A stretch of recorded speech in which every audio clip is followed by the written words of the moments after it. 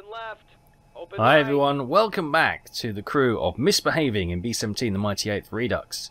We're about to set course for mission number 10 on our 25 mission uh, tour of duty. Um, we're going back to the previous targets. The Cologne Marshal Yard is our primary. We missed it last time, so they're sending us back out there. Master switch. Uh, the route we're taking is just as unforgiving as the last time. Uh, we've got the Solingen Steelworks there, which is the secondary. We've got the oil production facility, which is the tertiary, and the primary target, which is down here. Nope, it's down there. Um. So yeah, I will adjust all this again. We'll come and bomb probably this way from west to east and then cut back through the flak and away. You are cleared for takeoff.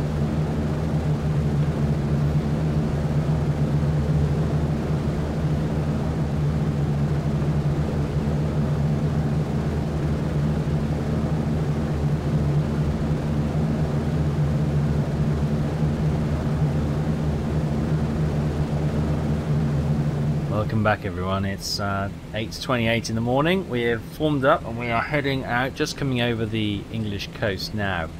Uh, looking out the windows you can see how thick the cloud is. It's going to be a real challenging day to get the bombs anywhere near the target once again. This seems to be a real, really seems to be our little bogey circuit, doesn't it? We don't seem to be able to do any bombing around Cologne. Anywhere around that little area is just curtains for us. Our, clou- our cloud cover and our visibility has been so poor. Um, well, we'll just have to see what we can do.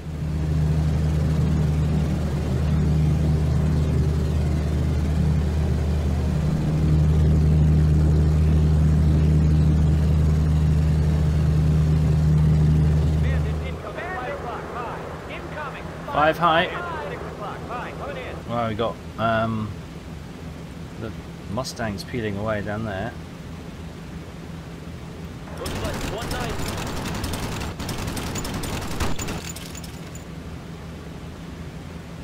I'll get my gun to him. Yeah, I see him. Two of them coming in. Bandit six o'clock. 109s as well. Oh my goodness, two flights coming in. Joyous. We've got a smoking bomber below us. Bandit six o'clock. Level. Coming in. So a flight of 109s and a flight of 190s. Happy days.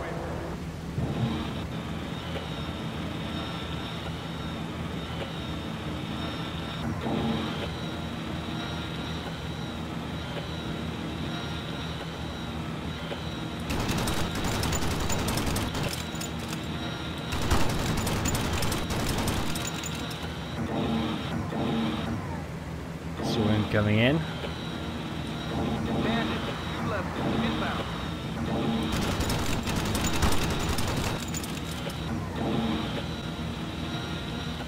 Bandit one o'clock level. Coming in.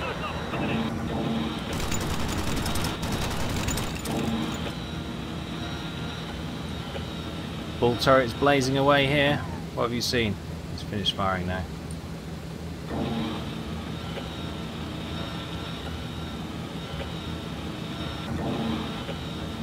Below our guns. Darting away. Somebody over here. Bandit low. Inbound. Bandit level. Incoming. There is a there is a smoking uh, aircraft coming in here. I can only be an enemy, otherwise the friendly would go home. That's another one. Bandit. Bandit. Four mile.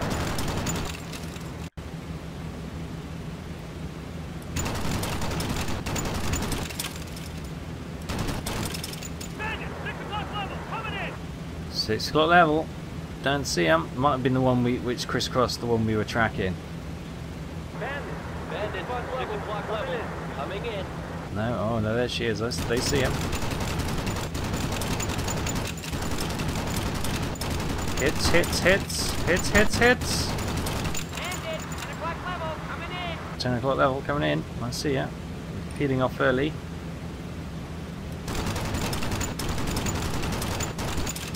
Some fire down where we think he's going to be. Did that one go down? Which first attacked the rear? I'm not sure.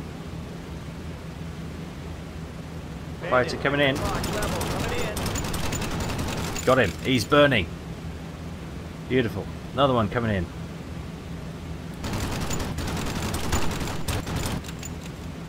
That's one definitely gone. Incoming 5 o'clock. High. Five o'clock high. Good hits, good hits. Oh, yes. 109. I think that was me, the um, the waste gunner, and probably this crew here with the uh, the chief on the front.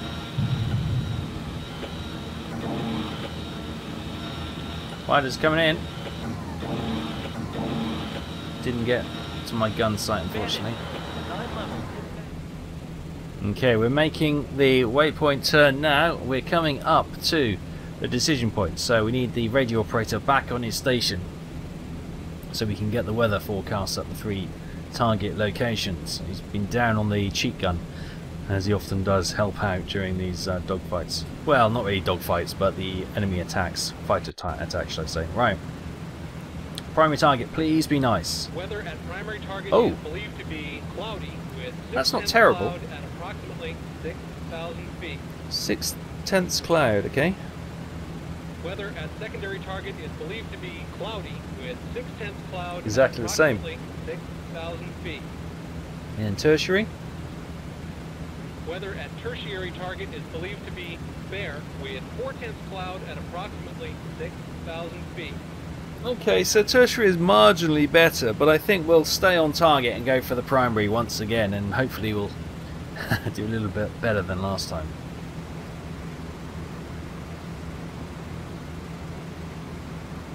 There's a couple of fighters down there. This one's coming in. Friendly's diving away. Landed. 12 low. Incoming. 10.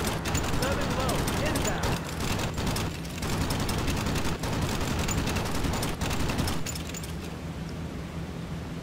He looks dead.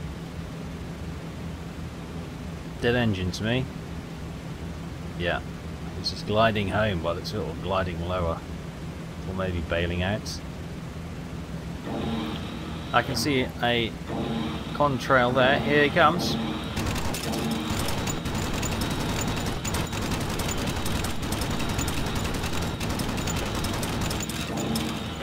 Certainly got them to change their mind if nothing else. Fighter coming in.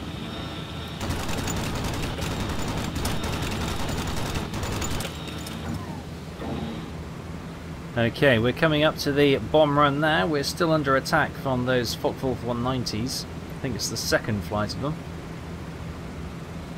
Um, so yeah, we'll. Uh, well, maybe it's just the, the stragglers because um,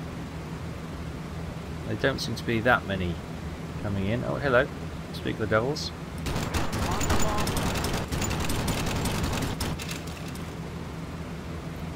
We're on the bomb run.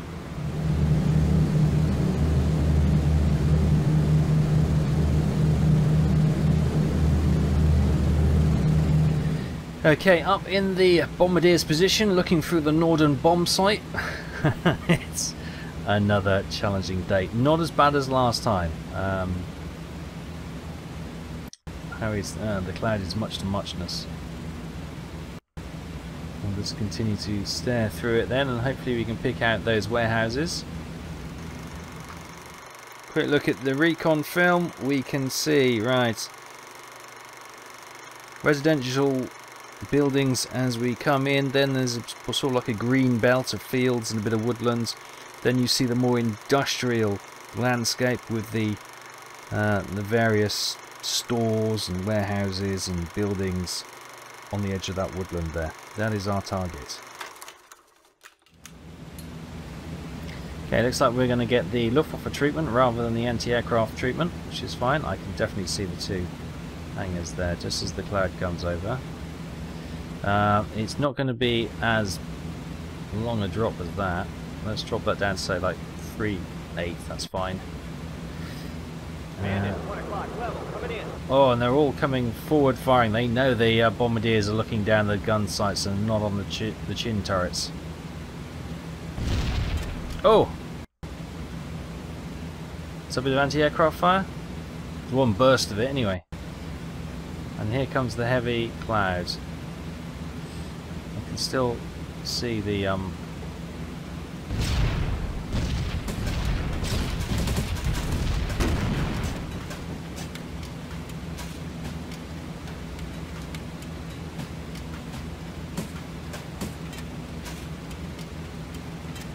last minute through the clouds. Could be another horrendous miss.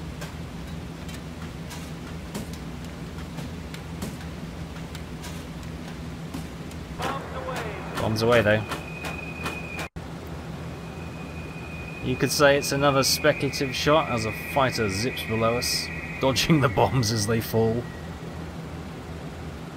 Here's the target then. Right, the aircraft should be coming towards us and the bombs should start probably falling in the industrial park as it were. And then uh, oh we are the bombs are flying quite the way over there. But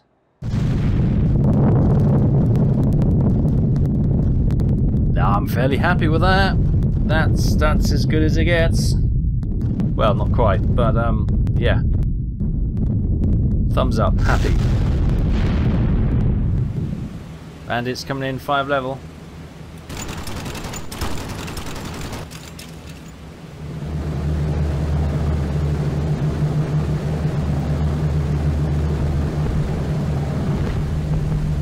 Okay, we got some light flak coming up.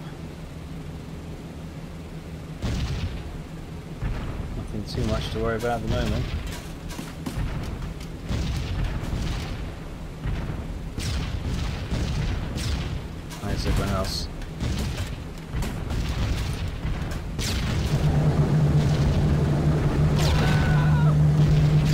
Okay, we got screams from the back of the plane. Oh, it's the nose actually. They've just taken a strike in the nose. Oh yeah, wouldn't you know? It's the navigator station. Always seems to get a battering. Let's let's do some diversion then. Let's. Oh, that was the pilots that time. I said us, everyone. Let's um.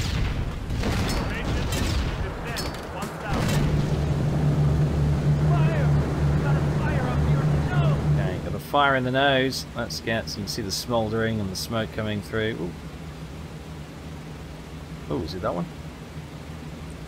Where's the other fire? Radio operator. There's another fire. Go and find it. Oh, there it is. Okay. Okay, so I've just sent the the bombardier to go and fight the fire on the flight deck and not the one in the nose. Uh, and I've sent the radio operator to go and fight the fire in the nose, not the one in the flight deck. So, yeah, it'd be useful if they were labelled. Well, there you go. The flight deck's um, no longer burning. The nose is.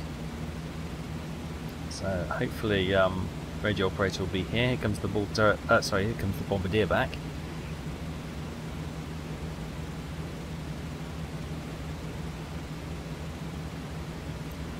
And the radio operator should quickly fix the fire here.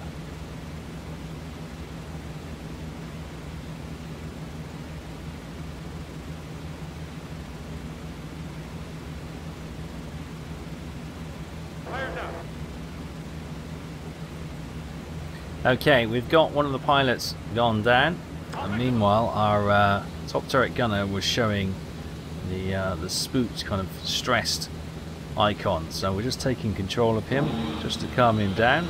It's a quick way to uh, reduce the stress factor. Is to just take control manually and just um, do their job for a while.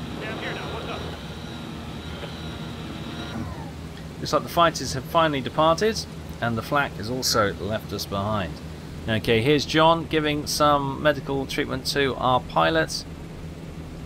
Fantastic, you can see the uh, the splinters in the glass, where obviously some shrapnel has come through.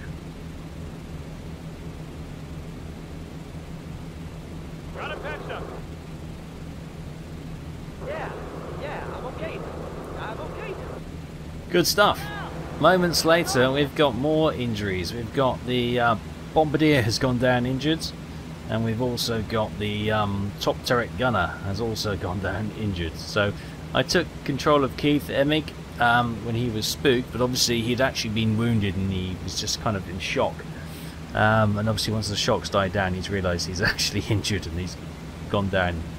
Um, John's coming to help him. Uh, meanwhile, we've got Charles Taylor, our navigator, looking to pick up Solomon, uh, who's also gone down injured. Okay, we've got some flak. We weren't predicted any flak back here, but here we go. Let's see if we can do some um, altitude changes. John, get us down. Formation, descent 1,000.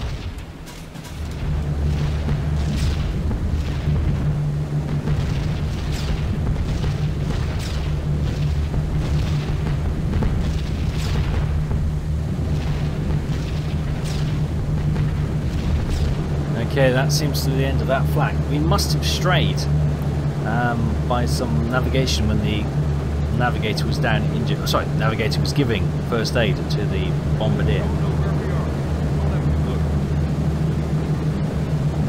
Okay, as we near the English coast, our navigator is lost, uh, which is not good for the chief because her number one engine is windmilling. Uh, it looks like it's out. So let's see if we can locate where we are and um, get our navigator back on track. Okay, it looks like we're just coming up to the coastline now. We've got a water or an estuary there. And that going in over there. Right, let's see if we can get this located. Oh yeah, look, he thinks he's we're far ahead of the game. I think we're here. I really don't know where we are. Yeah, I do, mate. I do. You're um, you've missed, kept the time or something. We are coming about there. Maybe actually slightly over there. I didn't see a town. Oh, there's the town there. Yeah, okay, we're coming up to the town now, so we are, in fact, right there. Brilliant. Okay. Uh, oh no. Just as we, oh, we may have an issue here. Stay low, boys. Oh, she's diving down. That one's diving down. We are over um, home base, somewhere down here. We're dropping back, but this one has just lost two engines. And I fear that they're going to crash literally over. There's the home base there. Oh no, we're going to lose a bomber. Hopefully they can bring it down for a um, some kind of forced landing. Oh, that's heartbreaking. Okay, it's getting a little bit close down here with all these aircraft. Um, no explosions yet. Oh, I spoke too soon. I hear the boom. I don't see anything, but I heard the boom. That was that bomber, I think, coming to rest. Such a shame. Such a shame. Oh, there it is. There. Oh, so close to home base. Right. Um, we don't want to have that befitting of us, so we are going to make that turn now. Gear coming down nicely. Going to land on the uh, non-active runway. Deploy the flaps. Oh, that's heartbreaking. See the smolder coming.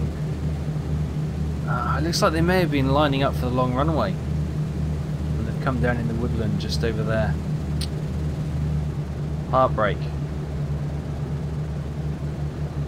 Right. Thankfully our bomber is in pretty good nick. We've got some holes around the bomb bay and we've got some holes around the, the nose and the um, the flight deck. We're coming in a little bit sharp.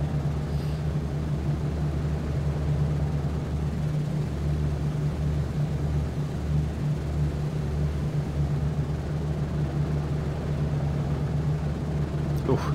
We let the tail slam down there, which the um, the waist gunners and the uh, tail gunner will not thank us for. That would have been quite um, painful. But um, we are down. I'm going to cross this active runway now. There you go. And uh, go and park up. And so uh, there we have it. Into debriefing we come. To read that the mission date of March 28th, 1944. Target attacked for the second time, Cologne Marshalling Yard. Distance flown 950 miles. Bombers lost, missing one, and it was literally right at the end. Heartbreak. Heartbreak. Ah, enemy fighters shot down though, five, which is a good tally. Bomb damage estimate, totally destroyed. Get in there. Apart from that bomber at the end, that was a good day. Um, crew injuries suffered. Second Lieutenant Beasley got a light wound, and Second Lieutenant Tilly got a flesh wound. There's the bomb damage assessment. Beautiful. So, medals awarded. Second Lieutenant Beasley receives the Purple Heart for his injury, and Staff Sergeant Aschelman, who is the tail gunner, receives the Legion of Merit. Wow. Missing crews accounted for. The Bad Penny crashed in friendly territory. We know, we saw her. And sadly, all aboard were killed in action. So, as we come into the captain's office, we can have a look at the uh, Misbehavin's record. So, missions flown 10. Enemy fighters kills 11. Wait, has that gone down? Okay, I've realised what's gone wrong. You probably called this from the start. Uh, we've done mission number 10. We've repeated it. For some reason it didn't save. Uh, so we've got mission 10B, where we got to go back to Cologne Marshalling Yard and have another go. Uh, this time, thankfully, history is on our side and we totally destroy the target. Um, no fighters shot down though. I'm not sure why he got a Legion of Merit then. Maybe because he fended off a number of um, fighters coming in. Ah, so that should have been really mission number 11. Which will be blatantly obvious to all of those when you start watching this episode. Thinking, huh? Uh, I'll have to label it mission 10B or something. Ah, man. Frustrating, but at the same time, at least we, we've um, rectified something that went wrong last time. Wilton Solomon, despite being injured, uh, continues with us. Uh, he's got above average gunnery, uh, sorry, bomb aiming now, which is good. Our navigator, Charles Taylor, navigation good. Got lost this time, but we managed to put him back on track. James Tilley, our pilot, above average piloting, slowly creeping up. I hopefully, I hope, because he's not really doing much. Our co-pilot, sadly, has been injured and has gone to the medical wing. Keith Emig, our top turret gunner, excellent gunnery and good technical skill. Our radio operator, John Osnarek, above average gunnery, average first aid, though we're throwing him at every medical emergency we can. George Wheeler, our ball turret gunner, excellent gunnery, going well. Charles Marsh, left waist, good gunnery skills. Burnt Landfield, good gunnery skills on the right waist as well.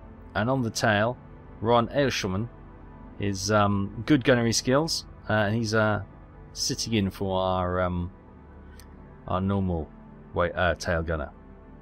Oh man, I can't believe we've repeated that mission. Never mind. Hopefully you won't mind too much. Uh, Harlan McKnight, our pilot, um, he is well. He's two, three, four, five missions complete. He's returning to the aircraft. Um, Brad Cubitt, our original bombardier, excellent bomb aiming as you can say. He's due back. When's he due back? On the oh wow, April the fifth. That's that's some that's a month away. Crikey. Oh no, hang on. What were we? We were twenty eighth of um, twenty eighth of March. So no, it's only it's only a week away. Beg your pardon. I beg your pardon. Uh, John Worsley, our tail gunner original, good gunnery skills. Uh, he's done a number of missions. He should be returning to the aircraft once he's discharged on the 5th as well. And Drew Beasley, our co-pilot, been injured this time. He's got good piloting skill. Um, he got injured, obviously, he got his Purple Heart. Um, it's a light wound, so he should be back uh, in a well, four days, which is not too bad. Or no, five days. Cool. Right then. Um, next time, mission number 11. For reals this time, I promise. Yes. Oh man, I'm just gutted. Ah well. There we go. We got to redo the uh, Cologne marshalling yard. I, th- I thought they were punishing us for missing it last time, but no, it's just me. Just me. Uh, right, mission number 11 will be coming next time. I promise. Thanks so much for watching. Take care. I hope you didn't mind repeating this mission. I'll see you next time. Bye bye.